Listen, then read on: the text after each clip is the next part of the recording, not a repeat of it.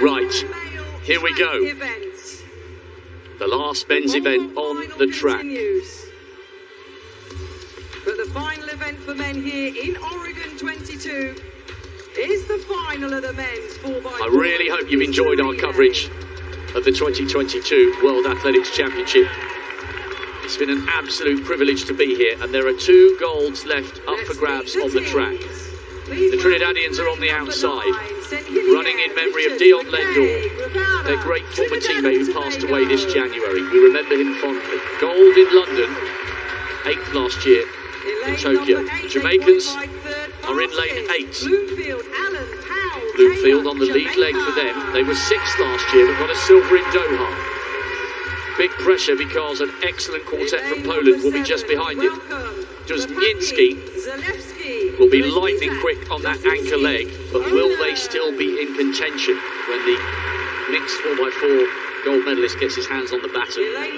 The Olympic champions, the world champions, anchored home by champion Allison. Norman, the very experienced American on second leg.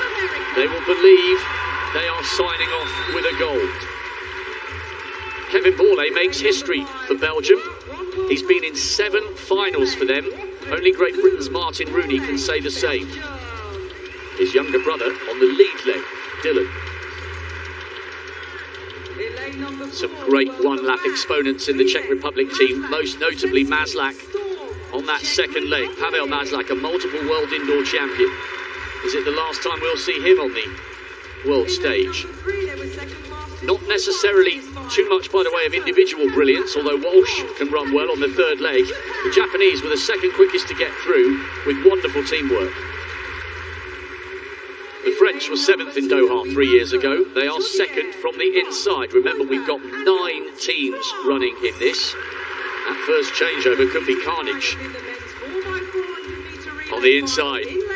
This is a great team from Botswana. The Olympic bronze medalists have Isaac Makwala on the third leg, and their new national record holder, Ndori, on the anchor leg. This time they've got to try not to drop the baton. Botswana in one, France in two, Japan three, Czech Republic four, Belgium five, USA the defending champions in six, Poland seven, Jamaica eight, Trinidad and Tobago on the outside, the former champions from London. Watch for Jereem Richards on the second leg for them, the world indoor 400 metre champion. This U.S. team, lots of experience, lots of relay experience. Elijah Godwin has already run a couple of relay legs at this championship. He knows how to get out for the U.S.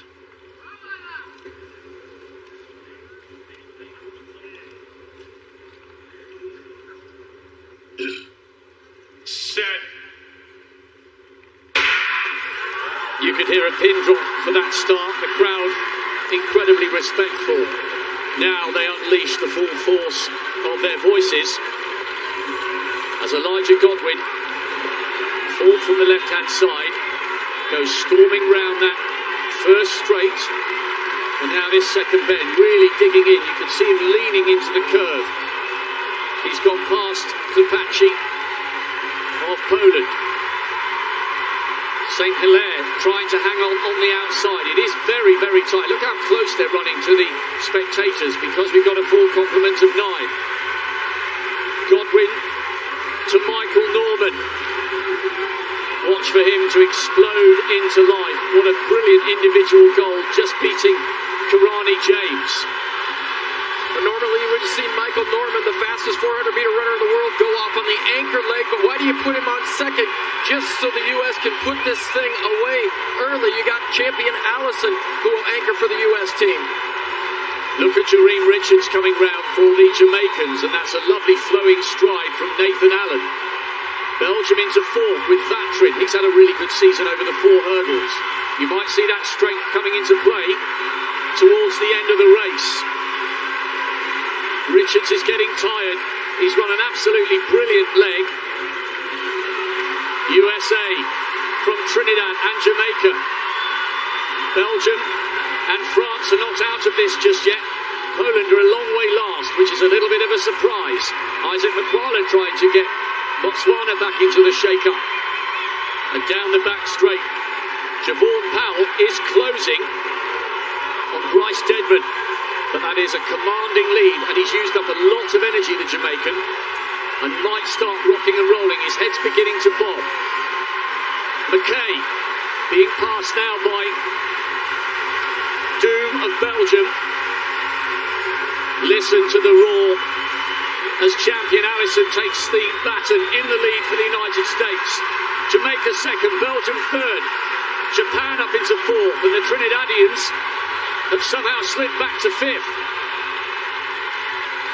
He's got a long, leaning stride. Christopher Taylor is storming down that back straight. What a run by Kevin Borlée. Imagine if he could bring them a World Championship medal in his seventh final for his country. And he's looking like he's got the Jamaican in his sights here. The Americans are away and clear. This is very, very close to world record tempo. Champion Allison being roared home here. The Americans finish the men's program in style. A fabulous silver for Jamaica. And in his seventh final for Belgium, Kevin Borlée anchors his nation to the bronze. That was one of the fastest times we've ever seen. And quite frankly, once they took the lead, there was only ever one team in it. Gold for USA in the men's 4x4. Elijah Godwin and Michael Norman broke that thing open for the Americans.